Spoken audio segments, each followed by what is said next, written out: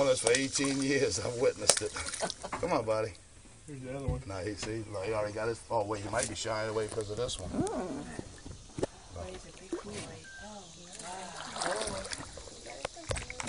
I mean, they'll tolerate each other. You? And then again, that might be the male. This might be the female. Come on, baby. Do they have their own territory, so to speak? Ooh, look at. Pretty much. So you got both of them right there. Ah, let's go here. Especially